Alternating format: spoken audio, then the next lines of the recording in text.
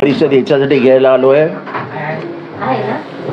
की मुंबई ही क्रांतिकारकांची भूमी होती. एकोणीसशे बेचाळीसचं आंदोलन इथेच पेटलं आणि इथनंच ब्रिटिशांना आपण रामराम केला. आज पियुष गोयल यांचे चिरंजीव ठाकूर कॉलेजमध्ये प्रशासनावर प्रशासनाला हाताशी धरून तिथे भाषण द्यायला गेले होते. विद्यार्थ्यांना संबोधित करायला गेले होते. विद्यार्थ्यांनी त्याला विरोध केला. आणि विद्यार्थ्यांनी प्रशासनाला प्रश्न विचारला की तुम्ही आमच्यावर जबरदस्ती करू शकता का? त्याचे व्हिडिओही व्हायरल झालेत. मला आठवतं की एकोणीसशे त्र्याहत्तर चौऱ्याहत्तरमध्ये गुजरात आणि बिहारमध्ये विद्यार्थ्यांनी आंदोलन सुरू केलं. त्यांनी नवनिर्माण आंदोलन नाही- नावाने आंदोलन सुरू केलं. आणि बिहार आणि गुजरातमधले सर्व विद्यार्थी रस्त्यावर आले होते. आणि त्यांनी नंतर सांगितलं जयप्रकाश नारायणना की तुम्ही आमचं नेतृत्व करा. आणि त्याच्यातनं लोकप्रिय इंदिरा गांधींना उतरती कळा लागली. जगाच्या इतिहासामध्ये जेव्हा जेव्हा विद्यार्थी रंग पकडतो विद्यार्थी एक भूमिका घेतो तेव्हा तेव्हा विद्यार्थी यशस्वी होतात. तुम्ही इमर्जन्सीच्या काळामध्ये चे नेते तुम्ही निवडून निवडून बघा. लालू प्रसाद यादव हे विद्यार्थी नेते होते. नितीश कुमार हे विद्यार्थी नेते होते. उत्तरेतले असो नाही तर दक्षिणेतले असो तमाम नेते जे ग्रासरूटवरनं आलेत म्हणजे वारसा घेऊन नाही जे ग्रासरूटवरनं आलेत ते सगळे विद्यार्थी नेते होते. ज्यांच्यात बंड करण्याची तयार होती विरोध करण्याची तयारी होती आणि कुठल्याही येणाऱ्या आव्हानांना सामोरे जाण्याचेच होते. मी हे का बोलतोय? तर मी पण कधीतरी एकदा विद्यार्थी होतो. मे बी कभी सोळा साल का था. त्या विद्यार्थी जीवनामध्ये केलेली आंदोलनं फी वाढीविरुद्ध काढलेले मोर्चे लाखा लाखाचे विद्यार्थी मोर्चे मुंबई युनिव्हर्सिटीवर यायचे. हा जोश मला हरवल्यासारखा दिसत होता. पण आज जेव्हा मी ठाकूर कॉलेजमधला विद्यार्थी बोलत असताना त्याच्यामागे उभा राहिलेला ठाकूर कॉलेजमधल्या विद्यार्थ्यांचा जनसमुदाय बघितल्यानंतर माझ्या आशा पल्लवित झाल्या. की विद्यार्थ्यांना कळतंय की ह्या देशात जोर जबरदस्ती कशी चालू आहे. आणि त्यामुळेच विद्यार्थ्यांनी ही भूमिका घेतली. ठाकूर कॉलेजचा हा जो विरोध आहे ठाकूर कॉलेजने ही घेतलेली भूमिका आहे. ही मुंबईत आलेली मुंबईत त्यांनी घेतलेली भूमिका आहे. आणि ही देशाला मार्गदर्शक ठरेल. देशाला मार्गदर्शक ठरणारी भूमिका आज ठाकूर कॉलेजमध्ये घेतलेली आहे. आणि त्या विद्यार्थ्यांना मी आश्वासित करू इच्छितो की मी पण एकेकाळी विद्यार्थी चळवळीतनं तिथपर्यंत आलेलो आहे. तुम्हाला जेव्हा केव्हा गरज लागेल तेव्हा विद्यार्थ्यांचा एक प्रतिनिधी म्हणून तुम्ही मला कधीही बोलवा मी तुमच्यामध्ये यायला तयार आहे. म्हणजे ह्याच्या पुढे आता त्यांच्यावरती पोलीस केसेस करतील त्यांना पोलीस स्टेशनला बोलवतील त्यांना मॅनेजमेंट सतवायला लागेल. असं कुठलंही जर केलं तर आम्ही सगळे विद्यार्थी चळवळीतनं आलेले कार्यकर्ते तिथे त्यांच्यासाठी जाऊन उभे राहू. दुसरं काल आम्ही इलेक्शन कमिशनला भेटलो. इलेक्शन कमिशनला सगळं सांगितलं. मी जे बोललो ते इथे सांगतो. मी सांगितलं की इल इलेक्शनच्या काळामध्ये सर्वात महत्त्वाची एजन्सी जी असते जी इन्स्टिट्यूशन आहे ते आहे इलेक्शन कमिशन ऑफ इंडिया. अर्थात त्याच्या नेमणुकांविषयी सुप्रीम कोर्टानेच आक्षेप घेऊन टाकलेत की अशा नेमणुका करता येत नाहीत. पण लोकांना हे कदाचित आठवत नसेल की मध्यंतरी लोकसभेने इलेक्शन कमिशन निवडण्यासाठी म्हणून एक समिती स्थापन केली होती. त्या समितीमध्ये त्यांनी चीफ जस्टिसला घेतलं होतं. पण हा चीफ जस्टिस आपल्या मध्ये येईल असं जेव्हा या सरकारला वाटलं तेव्हा त्यांनी लोकसभेतनं बिल पास करून चीफ जस्टिसला बाहेर काढून टाकला. म्हणजे लोकशाहीला धरून ज्या प्रक्रिया पाहायला पाहिजे होत्या त्या होणार नाहीत याची सोय केली. आता इलेक्शन कमिशन ह्यांनी स्वतंत्रपणाने वागलं पाहिजे असं संविधानाने संविधान स्थापन झाल्या झाल्या सांगितलेलं. मी काल त्यांना सांगितलं की अनेक एजन्सीजवरचा भरोसा जनतेचा उठत चाललाय. आज जर इलेक्शनच्या काळामध्ये गडबडी झाली ज्या पद्धतीने सरकार वागतंय तसंच वागत राहिलं एका विशिष्ट पक्षाला ते मदत करत राहिले एजन्सीज तर कसं चालायचं? फेअर अँड फ्री इलेक्शन ज्याला म्हणतो ते होणारच नाही. आणि तुमच्यावरचा विश्वास जनतेचा उडाला तर लोकशाहीचा बट्ट्याबळ होईल. तुमच्या भूमिकेकडे देशातल्या सगळ्या नागरिकांचं लक्ष आहे की तुम्ही काय करतात. कारण का मधल्या काळामध्ये त्यांनी ज्या भूमिका घेतल्या होत्या इलेक्शन कमिशननी जे निर्णय घेतले होते त्याला सर्वोच्च न्यायालयाने क्वेश्चन मार्क केला की इलेक्शन कमिशनने कसं काय केलं? म्हणजे आमच्या एन सी पीच्या वेळेस पण त्यांनी विचारलं. त्यांनी सांगितलं की election commission is encouraging defections म्हणजे पक्षांतराला वाव इलेक्शन कमिशन देत आहे. हे चांगलं भाष्य नाही आहे सर्वोच्च न्यायालयाने इलेक्शन कमिशनवर अशी टिप्पणी करणं हे भारतीयला भारतीय लोकशाही आणि संसदीय लोकशाहीला लाजीरवाणी गोष्ट आहे. त्यामुळे इलेक्शन कमिशनने याच्यात गांभीर्याने बघावं. असे आम्ही जेवढे पक्षप्रतिनिधी गेलो होतो त्या सगळ्यांनी सांगितलं. आम्ही नावं दिली की गेल्या एक वर्षात जवळजवळ पंधरा सतरा विरोधी पक्षातल्या लोकांना समन्स आलंय हे आलंय ते आलंय बोलवलेलं आहे अटकेत आहेत.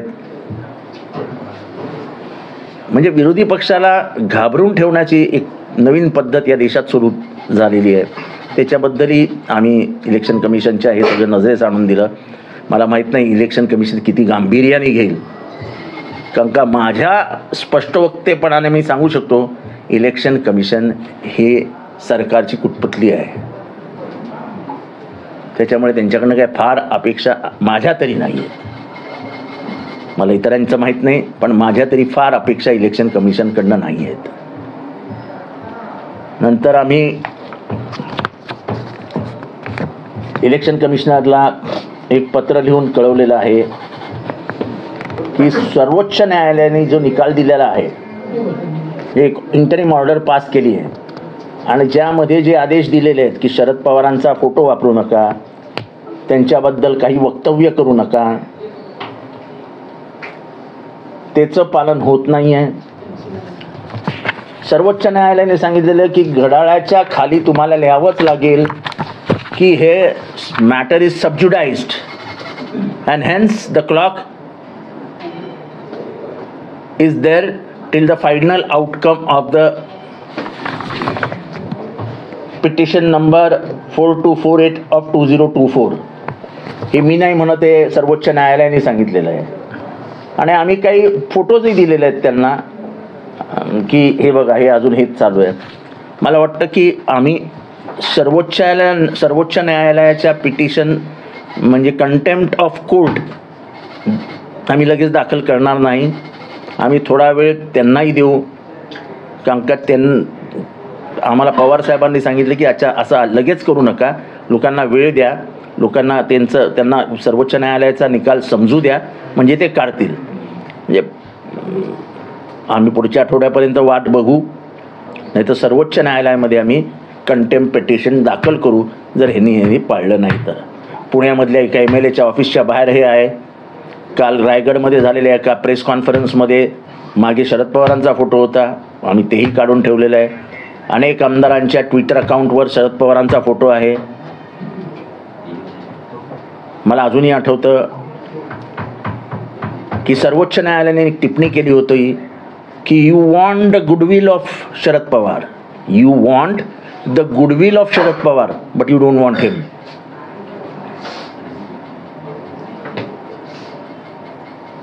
आणि शरद पवारांच्या कामाबद्दल कौतुक केलं होतं त्यांनी. काल सुद्धा मी इलेक्शन कमिशनरच्या तोंडातनं एक शब्द ऐकला शरद पवार साहेब म्हणाले ते.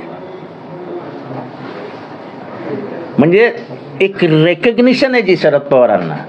ती जजेसच्या तोंडातनं दिसते. हे किती मोठं वाक्य आहे? त्यांनी ह्याच्यात म्हटलं की is one of the tallest personality in India आमचा आमचं जेव्हा ते वादविवाद चालू होते तेव्हा. त्यामुळे आमचं सर्वोच्च न्यायालयाच्या निकाला धरून आम्ही अर इलेक्शन कमिशनरकडे अर्ज केलेला आहे. इलेक्शन कमिशनर काय ॲक्शन घेईल आम्हाला माहीत नाही. पण आ पुढच्या आठवड्यात आम्ही उभ्या महाराष्ट्रातले सगळेच फोटो जमा करू. आणि त्याच्यानंतर मनात नसताना आम्हाला सर्वोच्च न्यायालयात अवमान याचिका दाखल करावी लागेल. साहेब शिरूरचे माजी खासदार शिवाजीराव आढळराव पाटील आज अजितदादांना भेटून गेले. मला अ, एकंदरीत वाटतं त्यांचा पक्षप्रवेश होणे आहे. दोन हजार एकोणीसचा बदला आम्ही दोन हजार चोवीसमध्ये घेऊ असं त्यांनी सांगितलं आहे. ठीक आहे. इलेक्शन्स आहेत. बदला जनता घेते. बदला उमेदवार घेत नसतो. शिंदेचा उमेदवार अजितदादांनी पडवला असं दिसतंय एकंदरीत मला त्यांच्याकडे कोण पळवा पळीव करतंय याच्याशी मला काय करायचं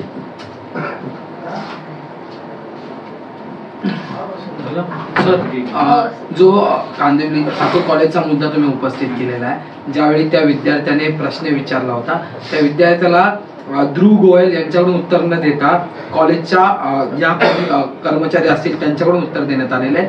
याकडे कसं बघतात ते? नाही नाही असं आहे की आता ही दडपशाही सुरू होणार त्या विद्यार्थ्यांवरती कारवाई होणार त्या विद्यार्थ्यांना प्रश्न विचारले जाणार त्यांच्या आईवडिलांना बोलवलं जाणार घाबरवलं जाणार हे सगळं गृहीत धरूनच मी पत्रकार परिषद घ्यायला धावत धावत आलो. की त्या विद्यार्थ्यांना मला हा निरोप द्यायचा आहे की तुम्ही एकटे नाही. आमच्यासारखे अनेक विद्यार्थी नेत्यां म्हणजे विद्यार्थी चळवळीतने मोठे झालेले जे आज या स्थानावर आहेत ते तुमच्या मागे येऊन उभे राहतील. वेळेप्रसंगी आली तर आम्ही ठाकूर कॉलेजला पण जाऊ. असं नाही होणार. आम्ही त्या विद्यार्थ्यांना एकटं सोडणार नाही. कारण का राजकीय चळवळीमध्ये विद्यार्थ्यांचा मोठा भाग सहभाग असतो. म्हणजे चायनामध्ये सुद्धा त्यांच्या राजवटीला विरोध करणारा तायनामॅन स्क्वेअरमध्ये एक आंदोलन झालं होतं. ते विद्यार्थ्यांचं होतं. त्या सगळ्या विद्यार्थ्यांना मारून टाकलं होतं. पण हे माहीत असताना पण आंदोलनात उतरणारं ते रक्त होतं. जगातलं प्रत्येक क्रांतीची पहिलं पहिली पावलं ओळखा. प्रत्येक क्रांतीची पहिली पावलं पावलं हे विद्यार्थी टाकतात. कारण का ते निडर असतात. त्यांचा कुठेही स्वार्थ नसतो. पण जेव्हा त्यांना दिशा बदलताना दिसते तेव्हा त्यांच्या लक्षात येतं की ही दिशा सरळ करायला पाहिजे. कारण का आपल्या भवितव्याचा प्रश्न आहे. आवड साहेब तुम्ही म्हटलं होता की अठ्ठेचाळीस तासात आमची यादी जाहीर होईल. पण अठ्ठेचाळीस तास उठून गेलेले आहेत. अजूनही महाविकास आघाडीची आमची यादी तयार आहे. बाहेर कधी? आमची यादी तयार आहे. आमच्या यादीला काही अडचण नाही. आणि. शरद पवार स्वतःहून कधीच यादी आधी जाहीर करणार नाहीत. शरद पवारांचं म्हणणं असतं की coalition is nothing but compromise and patience त्यामुळे आम्ही त्यांच्या म्हणण्याप्रमाणेच वागू. आणि आमची यादी त्यां- ते जेव्हा सांगतील की जाहीर करा जाहीर करून टाकू. हे पण एकदा हे क्लिअर बघा आजही आजही आम्ही सांगतो आहोत की वंचित यांची भूमिका जी आहे ती संविधानाच्या विरोधात चाललेली वर्तणूक ह्या देशाला घातक आहे असं ते म्हणतात. आणि आमचंही तेच म्हणणं आहे. त्यामुळे दोघांनी एकत्र यावं ही काळाची गरज आहे. नाही तर काळ आपल्याला माफ करणार नाही पुढची पिढी आपल्याला माफ करणार नाही. आणि त्यामुळे मी आजही सांगतो की त्यांनी एकत्र आलं पाहिजे आपण सगळ्यांनी एकत्रित लढूया. एक दोन सीट पुढे मागे करून एकत्रित जनतेच्या समोर जाऊया जनतेला विश्वास देऊया आणि लढूया. असे अशी अशी त्यांच्याशी कुठलीही चर्चा झालेली नाही. त्यांना तीन जागा दिलेल्या नाहीत. त्यांना जेवढ्या अपेक्षा होतात त्याच्याजवळ आम्ही आणून ठेवलेल्या आहेत. त्यांच्याकडनं जो निरोप आला होता कोणी आणला होता ते मला माहीत नाही. पण त्यांना नाराज करण्याची आमची भूमिका नाही. प्रकाश आंबेडकर असं म्हणतायत की महाविकास आघाडीचे जे त्याच्यामध्ये पंधरा जागांचा वाद अजिबात. अजिबात नाही. पंधरा जागेंचा वाद आमच्यामध्ये नाही. खरं सांगायचं झालं तर तसा वादच नाही. काही सीटांवरतीच असतोच.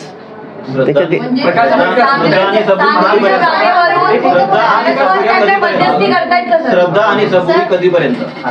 असं आहे की जर एखादी गोष्ट यशस्वी करायची असेल तर श्रद्धा आणि सबुरी असावीच लागते आणि तिच्या शेवटच्या क्षणापर्यंत ठेवावी लागते. सर, आणि आमचे साहेब त्याच्यातले मास्टर आहेत. पण प्रकाश आंबेडकर असं सांगलीच्या म्हणतायत- जागेवरून- प्रकाश आंबेडकर असं म्हणतायत की महाविकास आघाडीचे नेते सातत्याने मीडिया समोर येऊन खोटं बोलतायत. आम्हाला चार जागा ह्या मान्य नाही आणि असं आहे की मी काय महा त्या त्यांचा म्हणजे मी त्या समितीचा काही प्रमुख वगैरे नाही आहे मी एक छोटासा प्रतिनिधी आहे. त्याच्यामध्ये ह्या प्रश्नाबद्दल बोलणं मला मला वाटतं मी त्याचं उत्तर देणं उचित होणार. सर महाविकास आघाडीत भिवंडीच्या जागेचंही गणित आणलेलं आहे. तुमच्याकडून मागणी करण्यात येते. काँग्रेसकडे काँग्रेसकडून ती जागा असं आहे ना ठीक आहे ना एखाद एखादी जागा हो असते. मग तुम्ही सोडणार का? तुम्ही सोडणार का ते पकडणार? जरा थांबा ना वेळ आहे ना. आम्ही धरणार का पकडणार? हे चिंता नका करू ना तुम्ही थोडं थांबा ना. पण सर प्रश्न असा आहे की नेमकं जर का तुम्ही म्हणता आहात की तीन जागा त्यांनी आम्ही दिलेल्या नाही तर नेमक्या किती जागा दिल्या? ते पण सांगत नाही आणि तुम्ही पण सांगत नाही की किती जागा असं आहे की आम्हाला आमच्या इंटरनल डिस्कशनमधलं काही बाहेर यावं. अशी का अपेक्षा आहे तुमची? शेवटी एक गुपित नावाची गोष्ट असते ना कॉन्फिडेन्शियल नावाची गोष्ट असते ना तुमच्या कंपनी ही मध्येही तुमच्या संपादकाबरोबर तुमची कॉन्फिडेन्शियल मीटिंग असते की नाही? तुम्ही सांगता का आजचा अजेंडा काय आहे आमचा? रात्री कळतो आम्हाला आमची वाजल्यानंतर की आजचा अजेंडा यांचा हा होता. सर सर एका वृत्तपत्रात अशी माहिती आली की ज्या वेळेस अमित शहा आणि राज ठाकरे यांची भेट झाली. त्याच्यानंतर त्या भेटीत राज ठाकरेंना प्रस्ताव देण्यात आलेला आहे. त्याच्यात असं म्हटलंय की एकनाथ शिंदे आणि राज ठाकरे यांचा पक्ष विलीन करून राज ठाकरे यांना अध्यक्षपदी बसून ही माहिती चालवता येऊ शकते. तुम्ही कसं बघता? हे अमित शाह साहेब आणि राज ठाकरे. हे बंद खोलीमध्ये काय बोलले हे तुम्हाला कळलं असेल तर मला माहीत नाही. आणि तुम्हाला कळलं जरी असेल आणि तुम्ही मला प्रश्न जरी विचारला असेल त्याच्याशी माझा काय संबंध? त्यांनी विलीन व्हावं त्यांचं एकत्रीकरण व्हावं कोणी अध्यक्ष व्हावं? त्यांच्या मनाची मर्जी आहे. बेगाने शादी में अब्दुल्ला दिवाना. राज ठाकरे राज ठाकरे महायुती केल्यास उत्तर भारतीय वोट बँक नाराज होईल का? त्याचा फायदा महाविकास आघाडीला होईल असं वाटतं असं आहे की प्रत्येकाची गणितं लागलेली आहेत ही गोष्ट खरी की उत्तर भारतीयांना मार मार मारले आहे उत्तर भारतीयांची मा मुंबईत गरजच नाही असा त्यांची भाषा होती. तेव्हा उत्तर भारतीयांच्या मागे उभं राहण्याचं काम आमच्यासारख्यांनी केलं. मला अजूनही आठवतं वसईमध्ये एका रिक्षावाल्याला मारला होता. त्या रिक्षाचा मालक मराठी माणूस होता. आणि ड्रायव्हर उत्तर भारतीय होता. मी सहज विचारलं की मग मराठी माणूस आपला रिक्षा का नाही चालवत? त्या मालकाने मला सांगितलं साहेब कोण उन्हात फिरेल? हजार रुपये मिळतात मला दिवसाला. हे उगाच करतायत. असं आहे की काही अंडरस्टँडिंग असतं. काही आपसी समझोते असतात. आणि कष्ट करणाऱ्याला जगात सगळीकडे वाव मिळतो. आजचा हा इतिहास नाही आहे पारंपरिक इतिहास आहे. अख्ख्या युरोपमध्ये अनेक काम करणारे कष्टकरी हे भारतातनं गेले होते. आजही आफ्रिकेमध्ये भारतीय वंश जिवंत आहे. मॉरिशियसमध्ये आहे. ते कशासाठी गेले होते? काय श्रीमंत होते आणि मॉरिशियसमध्ये शेती घेतली होती काय? आज आफ्रिकेतले लोक बिचारे इथनं तिथनं कसे तरी पळून चोरून अमेरिकेत जाण्याचा प्रयत्न करतात. कशासाठी? शेवटी पोटाच्या प्रश्ना प्रश्नासाठी स्थित्यांतर होतात. पण आघाडीला फायदा होईल? सर सर एक असा प्रश्न आहे. महाविकास आघाडीची कोल्हापूरची जागा जी आहे ती शाहू महाराजांना दिली परंतु साताऱ्याच्या जागेचा वाद जो आहे साताऱ्याच्या जागेचा वाद जो आहे तो कायम आहे. उदयनराजे जे आहे ते वारंवार दिल्लीला जातात. असं आहे की आमच्या मनामध्ये शा कोल्हापूरची जागा म्हणजे आमच्या दृष्टीने फार महत्त्वाची आहे. शाहू महाराजांच्या महाराष्ट्राच्या योग महाराष्ट्राला दे मध्ये त्यांचं योगदान हे अतिशय महत्त्वाचं आहे. शाहू महाराज हे असे राजे होते. तुम्ही मध्ये बोलू नका यार. शाहू महाराज. हे असे राजे होते की डॉक्टर बाबासाहेब आंबेडकरांची दहावीची प अकरावीची परीक्षा झाल्यानंतर हा एवढा हुशार विद्यार्थी कोण आहे हे शोधण्यासाठी ते कोल्हापूरहून मुंबईला आले. मुंबईला बाबासाहेब आंबेडकरांची त्यांनी बी आय टी चाळीत भेट घेतली. आणि पुढच्या शिक्षणाचा सगळा खर्च तजवीज त्यांनी आणि बरोड्याच्या महाराजांनी केली. एकोणीसशे वीस साली माणगाव येथे झालेल्या परिषदेमध्ये डॉक्टर बाबासाहेब आंबेडकरांनी त्यांना अस्पृश्य परिषदेला बोलवलं होतं. त्या परिषदेमध्ये त्यांनी असं बोट दाखवून सांगितलं होतं की तुम्हाला तुमचा नेता मिळाला. ते बोट बाबासाहेब आंबेडकरांकडे होतं. त्यांनी जातीपातीची लढाई संपवावी म्हणून रिझर्वेशन पहिल्यांदा शाहू महाराजांनी आणले. शाहू महाराजांनी मुसलमान जैन मराठी मराठा सगळ्यांसाठी हॉस्पिट हॉस्टेल्स बांधले. असे कायदे गेले जे जनमानसाला चांगले असतील. त्यांनी कधीच भेदभाव मानला नाही. तो एक आगळा वेगळा राजा होता. आणि त्यांची परंपरा आजही कोल्हापूरकर मानतात. आणि त्यांच्या परंपरेचं कौतुक आजही महाराष्ट्रात होतं.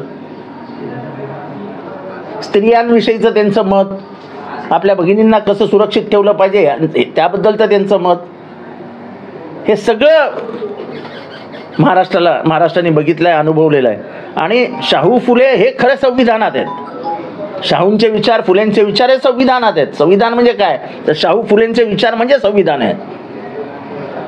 त्यामुळे हा हे शाहू महाराजांचं जे उमेदवारी आहे ही ही परंपरा पुढे नेण्याचा प्रयत्न आहे. उदयनराजेंची हे बघा उदयनराजे काय करतायत? मला माहीत नाही. पण आम्ही त्यांच्या घरी जाऊन त्यांना उमेदवारी दिली. तिन्ही पक्षाचे नेते त्यांच्या घरी गेले. कारण का आम्हाला ह्या विचारांविषयी प्रचंड प्रेम आणि आदर आहे. शाहू फुले आंबेडकर म्हटलं की विषय संपला आमच्यासाठी. शिव फुले शाहू आंबेडकर ही विचारधारा जिवंत राहावं राहावी महाराष्ट्रात. याच्यासाठीच आमची लढाई असते. आता उदयनराजे काय करतात? त्याच्याशी मला काय करायचं सर हिंदी में जानना चाहेंगे. आप एक हालाँकि एक वीडियो वायरल हो रहा है जिसमें केंद्रीय मंत्री पीयूष गोयल के बेटे जो है एक सेमिनार में जाते हैं कॉलेज में जहाँ पे जहाँ पे वहाँ के छात्र जो सेमिनार में विरोध करते क्या उसका देखो मेरी मेरी मैं एक विद्यार्थी एक ज़माने में विद्यार्थी रह चुका हूँ। बहुत सारे आंदोलनों में मैंने हिस्सा लिया है और भारत की भी जो विद्यार्थी नेतृत्व की परंपरा है, वो बहुत बड़ी है। स्वातंत्र से लेके इमरजेंसी तक विद्यार्थियों, विद्यार्थी ही जंग लड़े थे। जब इंदिरा गांधी बहुत ज़्यादा यानी चरम थी लोकप्रियता का, तब गुजरात और बिहार में आंदोलन शुरू हुआ था, उसका नाम था नवनिर्माण आंदोलन।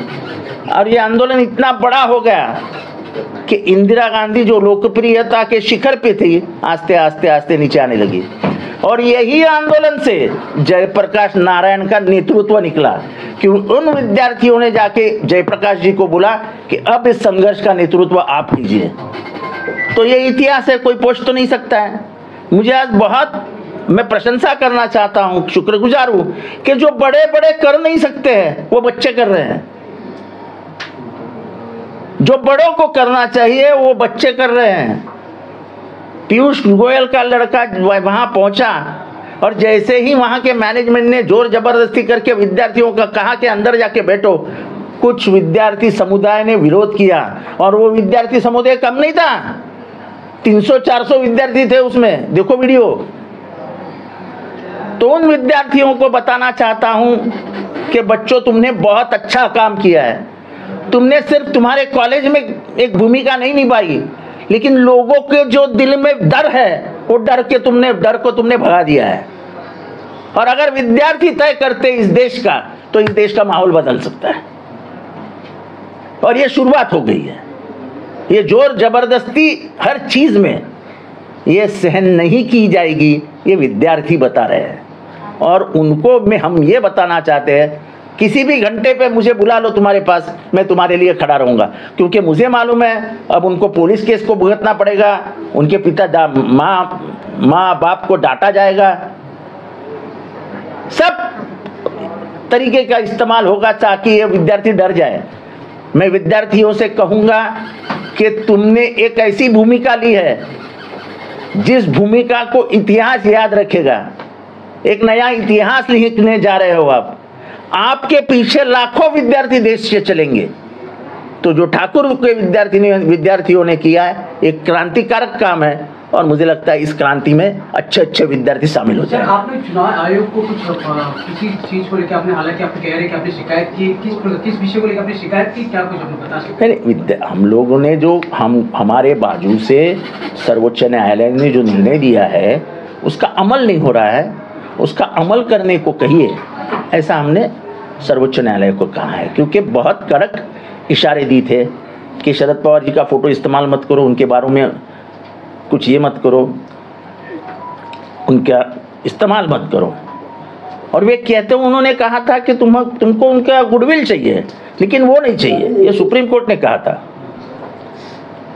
तो हमने उनको बताया कि आज भी वो सुप्रीम कोर्ट का निर्णय आके अब 24 अट्ठाईस घंटे होने को आए तो भी उसका अमल नहीं किया जा रहा है। दूसरी चीज़, हर ट्विटर हैंडल पे आज भी शरद पवार जी कुछ कार्यालयों में आज भी फ़ोटो है। मैं नाम के साथ बताता हूँ कि वैसे पाटिल के केबिन में आज भी शरद पवार जी का फ़ोटो है। सवाल यह है कि अगर तुमको वो आदमी पसंद नहीं है, उसकी विचारधारा पसंद नहीं है तो क्यों उसका फ़ोटो लगाते हो? क्यों लोगों को संभ्रमित करना चाहते हो? अब गालियाँ तो दे चुके तुम। और दूसरी जो चीज़ इलेक्शन कमीशन ने कही है कि तुम्हारे हर चुनाव चिन्ह के नीचे तुमको ये लिखना पड़ेगा कि ये जो है पूरा न्याय प्रविष्ट है और अंतिम निर्णय तक हमको ये दिया गया है। तो वो भी लिखने का है। और वो सभी जगह पे जहाँ जहाँ तुम्हारी एडवर्टाइज जाएगी पैम्पलेट बनेंगे झंडे बनेंगे तुम्हारी निशानी जहाँ जहाँ जाएगी उस सब निशानी के नीचे ये लिखना पड़ेगा। सर कहीं ना कहीं कोड ऑफ़ कंडक्ट हुआ जिस प्रकार से बता रहे कोर्ट ने ऑर्डर दिया है लेकिन कहीं ना कहीं कोर्ट का नहीं हम तो अवमान याचिका दाखिल कर देंगे सुप्रीम कोर्ट में तुरंत। अगर आठ दिन में ये सुधार नहीं आया तो हम सुप्रीम कोर्ट में अवमान याचिका दाखिल कर देंगे। चुनाव आयोग जिस प्रकार से काम कर रहे काम को आप देख। हालाँकि अपने देखो ऐसा है कि मेरे मे, मेरे जैसे आदमी को पूछो तो चुनाव आयोग का काम ही खत्म हो गया है।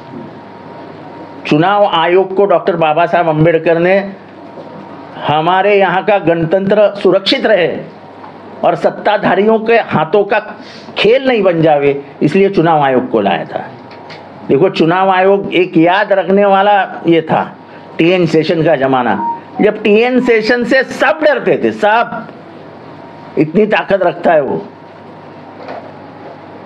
जब आप अपने ताकत की आपको जानकारी नहीं है तो फिर देश का क्या होगा? आप है सुप्रीम कोर्ट ने कहा कि जिस तरह के, के ये आ रहे हैं डिसीजंस आ रहे हैं इलेक्शन कमीशन ऑफ़ इंडिया की तरफ़ से उससे तो ये साफ़ दिखता है कि डिफेक्शन को बढ़ावा इलेक्शन कमीशन दे रहा है। बोले इलेक्शन कमीशन दसवीं सूची को ध्यान नहीं देता है क्या? बोले, सीधा न्याय है कि अगर तुम पार्टी से बाहर पड़ते हो टू थर्ड मेजोरिटी से तो तुमको मर्जर करना पड़ेगा। तुमको स्वतंत्र अस्तित्व नहीं मिलेगा। ये मैं नहीं बोल रहा हूँ। ये जज बोले, बैठे हुए जज, कि धावी tenth where is tenth schedule वे सवाल उन्होंने पूछा, मैं नहीं पूछ रहा हूँ। तो सब मर्यादा का भंग होने के बाद जब सुप्रीम कोर्ट इलेक्शन कमीशन के ऊपर सवाल निशान पैदा कर देता है तो फिर आम जनता तो पूछेगी क्या हो रहा है।